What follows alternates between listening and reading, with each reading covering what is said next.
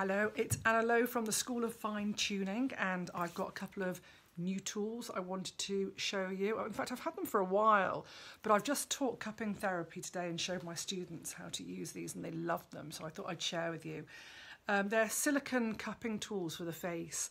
Uh, you might have seen them um, on Amazon or eBay, so you can grab them there quite inexpensively, but they work really well.